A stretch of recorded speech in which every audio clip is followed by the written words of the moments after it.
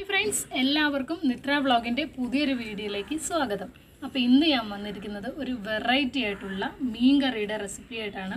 അപ്പോൾ തിരിയാങ്കറിയാണ് അപ്പോൾ എങ്ങനെയാണ് ഈ മീൻ കറി വെക്കുന്നതെന്ന് നമുക്ക് നോക്കണ്ടേ. അപ്പോൾ എല്ലാവരും ഞാൻ ഈ ചെയ്യുന്ന വീഡിയോസ് എല്ലാം അവസാനം വരെ കാണണം. എന്നാലേ ഉള്ളൂ എല്ലാവർക്കും മനസ്സിലാകത്തുള്ളൂ അത്ര ടേസ്റ്റി ആയിട്ടുള്ള തിരിയാങ്കറിയാണിത് അപ്പോൾ നമുക്ക് വീഡിയോയിലോട്ട് പോയാൽ അതിന് മുമ്പായിട്ട് എന്റെ ഈ ചാനൽ ആദ്യമായിട്ട് കാണുന്നവരാണ് ഒന്ന് സബ്സ്ക്രൈബ് ചെയ്തേക്കണേ. അപ്പോൾ തൊട്ടടുത്തുള്ള ബെൽ ബട്ടണും കൂടെ ഒന്ന് അമർത്തണം. അപ്പോൾ ഞാൻ അയക്കുന്ന വീഡിയോസ് നിങ്ങൾക്ക് നോട്ടിഫിക്കേഷൻ ആയിട്ട് ലഭിക്കുന്നതായിരിക്കും. അപ്പോൾ നമുക്ക് വീഡിയോയിലോട്ട് പോയാലോ? അപ്പോൾ ഫ്രണ്ട്സ് ഇതേ നല്ല കരിമ്പച്ച തിരിയാനാണ്. തിരിയാനെന്നാണ് ഞങ്ങളിവിടെ പറയാറ്. അപ്പോൾ നല്ല കരിമ്പച്ചയാണ്. ഇപ്പോൾ കടപ്പുറത്ത് പോയി മേടിച്ചുകൊണ്ട് വന്നതാണ്.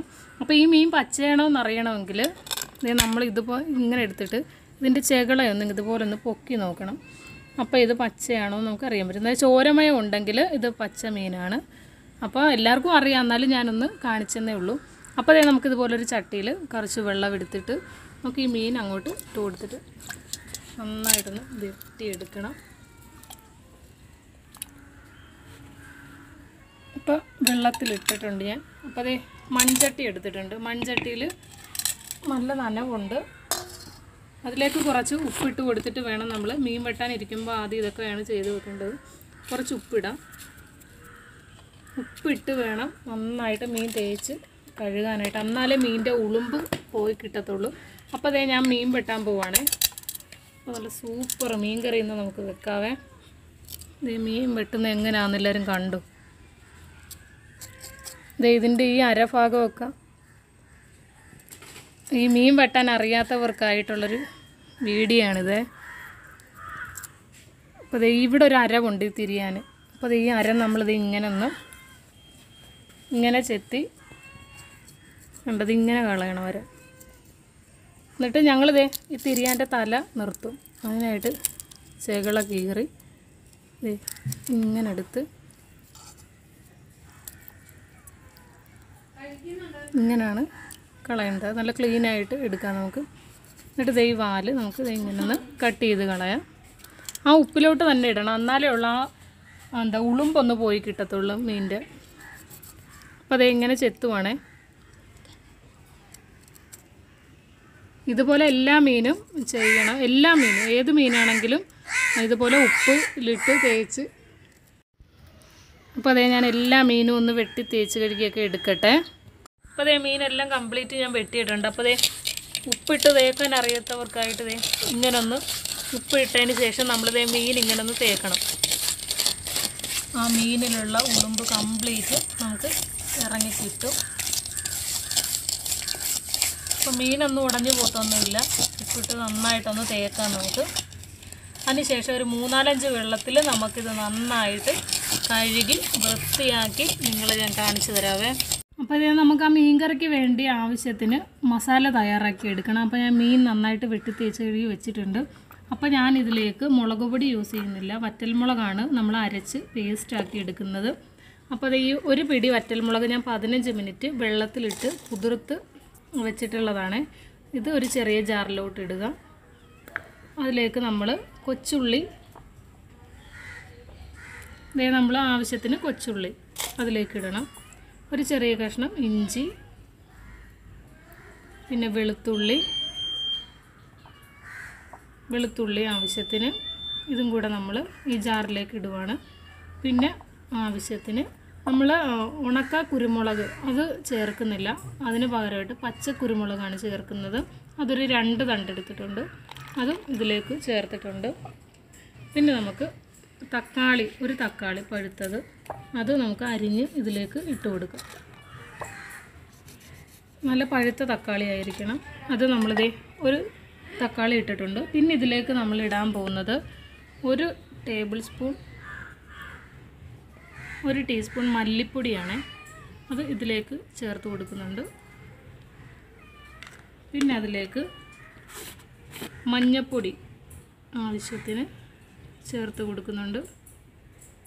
ഇതിലേക്ക് നമ്മൾ പച്ചവെള്ളം ഒഴിക്കാൻ പാടില്ല. അത് ഇളം ചൂടുള്ള വെള്ളമാണ് നമ്മൾ ഇത് ഇതിലേക്ക് ഞാൻ ഒഴിച്ച് കൊടുക്കണം ആവശ്യത്തിന് വെള്ളവും കൂടെ ഒഴിച്ച് നമുക്ക് നന്നായിട്ട് പേസ്റ്റ് രൂപത്തിൽ അടിച്ച് നമുക്ക് എടുക്കാം.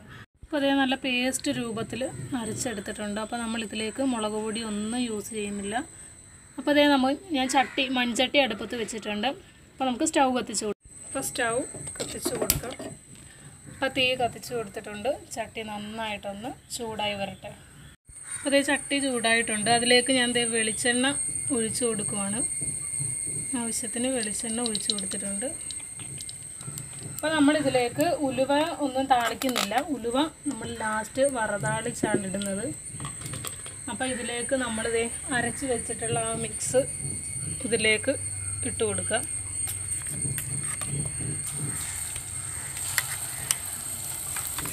ഇതിലേക്ക് നമ്മൾ അരച്ച് വെച്ചിട്ടുള്ള മുളക് മല്ലിപ്പൊടി മഞ്ഞൾപ്പൊടി വെളുത്തുള്ളി ഇഞ്ചി കൊച്ചുള്ളി നമ്മുടെ പച്ച കുരുമുളക്. അത് നേരെ ഞാനിതിലേക്ക് ഇട്ട് കൊടുത്തിട്ടുണ്ട്. ഇതിന്റെ പച്ച മണം മാറുന്നത് വരെ നമ്മൾ നന്നായിട്ട് ഇളക്കി എടുത്ത് കൊടുത്തുകൊണ്ടേ ഇരിക്കണം.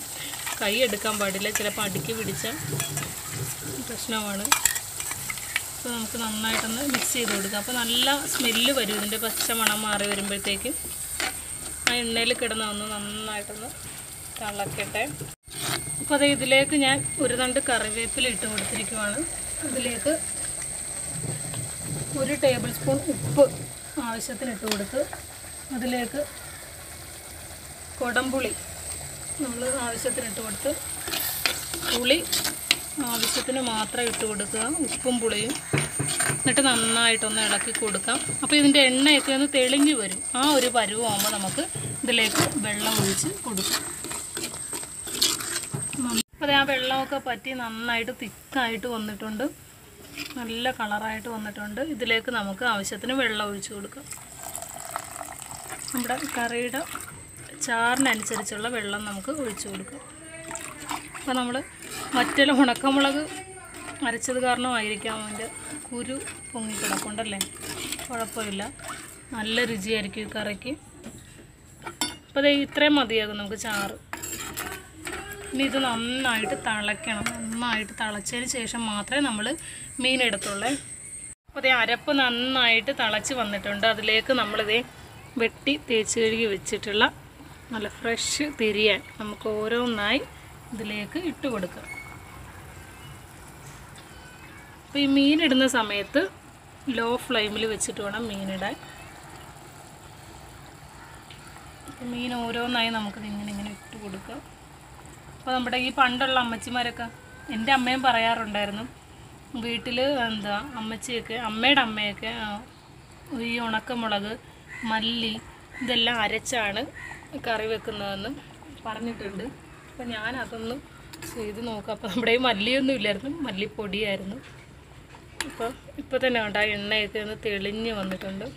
അപ്പോൾ അല്ല ഹൈ ഫ്ലെയിമിൽ വെക്കുമ്പോഴത്തേക്കും മീൻ ഇടുവാണെങ്കിൽ പെട്ടെന്ന് അങ്ങ് പൊടിഞ്ഞു പോകാൻ സാധ്യതയുണ്ട്. അപ്പോൾ നമുക്കിതൊന്ന് അടച്ച് വെച്ച് നന്നായിട്ടൊന്ന് തിളപ്പിച്ചെടുക്കാം.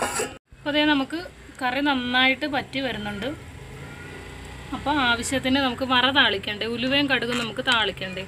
അതിനായിട്ട് നമുക്ക് ഞാനൊരു ചട്ടി അടുപ്പത്ത് വെച്ച് വെളിച്ചെണ്ണ ഒഴിച്ച് കൊടുത്തിട്ടുണ്ട്. അതിലേക്ക് നമുക്ക് ഉലുവ ഇട്ട് കൊടുക്കാം. ഉലുവ ആവശ്യത്തിന് ഉലുവ ഒന്ന് പൊട്ടി തുടങ്ങുമ്പോഴത്തേക്കും നമുക്ക് അതിലേക്ക് കടുക് ഇട്ട് കൊടുക്കാം. അപ്പോൾ നമ്മുടെ കറി അവിടെ ഇരുന്ന് കറി തിളക്കുന്ന സമയമാകുമ്പോഴത്തേക്കും ഒന്ന് കുറച്ച് വെച്ച് കൊടുക്കണം. ലോ ഫ്ലെയിമിൽ വെച്ച് കൊടുക്കണം.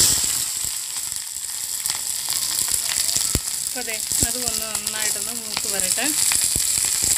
അപ്പോൾ ഈ മറന്നാളിക്കാൻ ഇതിന്റെ അകത്ത് എന്തൊക്കെ ഉണ്ടെന്ന് ഞാൻ പറഞ്ഞുതരാം. കൊച്ചുള്ളി ഒരു നാലെണ്ണം എടുത്തിട്ടുണ്ടായിരുന്നു. ഒരു ചെറിയ കഷ്ണം ഇഞ്ചി ചെറുതായിട്ട് അരിഞ്ഞത് വെളുത്തുള്ളി രണ്ട് മൂന്നെണ്ണം എടുത്തിട്ടുണ്ട്. പച്ചമുളകും. അത് പഴുത്ത പച്ചമുളകാണ്. പച്ചയില്ലായിരുന്നു. അതൊരു മൂന്നെണ്ണം എടുത്തിട്ടുണ്ട്. അത് ഞാൻ നന്നായിട്ട് അരിഞ്ഞിതൊന്ന് നന്നായിട്ട് ബ്രൗൺ കളറാകുന്നത് വരെ നമുക്കൊന്ന് ഒന്ന് മൂപ്പിച്ചെടുക്കാം. അപ്പോൾ അതേ നല്ല ബ്രൗൺ കളറായിട്ടുണ്ട് ഞാൻ ഫ്ലെയിം ഓഫ് ചെയ്തിട്ടുണ്ട്. അപ്പോൾ നമ്മുടെ കറി ഏത് പരുവാന്ന് നോക്കണ്ടേ? ഇത് ഞാൻ ഒന്ന് തുറന്ന് നോക്കട്ടെ. കറി എങ്ങനെയായെന്ന് നോക്കട്ടെ. ഇത് നല്ല എണ്ണയൊക്കെ തെളിഞ്ഞ് നല്ല കറക്റ്റ് പരുവത്തിലായിട്ട് കിട്ടിയിട്ടുണ്ട്. അപ്പോൾ നമ്മൾ ഈ താളിച്ച് വെച്ചിട്ടുള്ള ഈ വറ നമുക്ക് ഈ കറിയിലേക്ക് ഇട്ട് കൊടുക്കാം. അപ്പോൾ ഇത് ചേർക്കുമ്പോഴേ ഉള്ളൂ കറിക്ക് ഒരു ടേസ്റ്റ് കിട്ടത്തുള്ളൂ.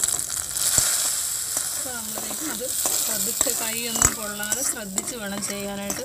അപ്പോൾ അതിലേക്ക് ഞാൻ ഒഴിച്ച് കൊടുത്തിട്ടുണ്ട്. അപ്പോൾ ഇതും കൂടി ഇട്ടൊന്ന് ജസ്റ്റ് ഹൈ ഫ്ലെയിമിൽ വെച്ചേക്കാം. ഞാൻ ഇത്രയും നേരം ലോ ഫ്ലെയിമിൽ വെച്ചിട്ടാണിത് വേവിച്ചത്.